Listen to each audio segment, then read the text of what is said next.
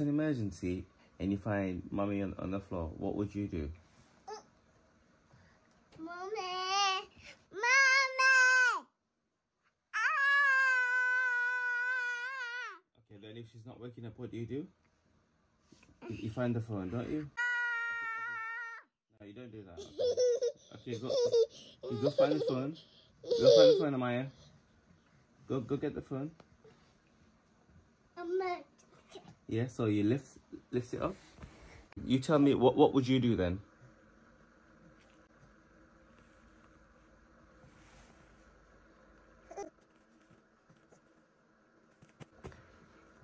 Close. Uh, I think you put a six in it and then a nine in front.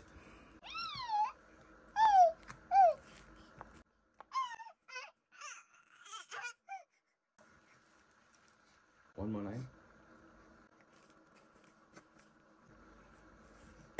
Perfect. And then you, you'd press the green button, yeah?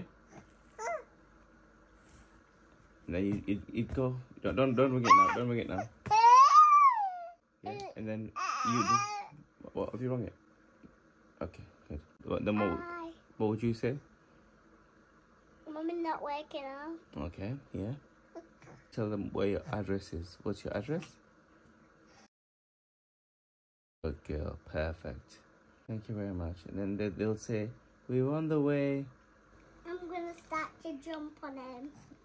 Um, what if he'd broken his bones and you try jump on him? That's gonna make it worse. Oh no, now he's got a broken back. Oh dear, things are not looking good.